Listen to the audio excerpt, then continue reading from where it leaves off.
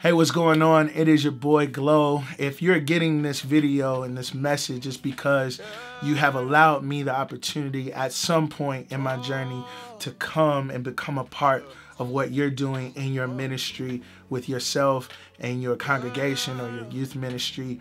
And to show my appreciation, I just wanted to personally invite you guys out to the first opening night of the Born Again tour, which is my first tour.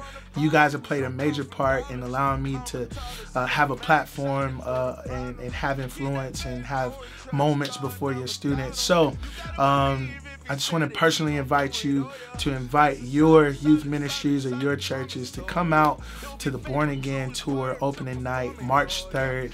Uh, the link for the tickets is somewhere in this video. So if you need more information, let me know. I just want to say thank you and personally invite you out. Peace.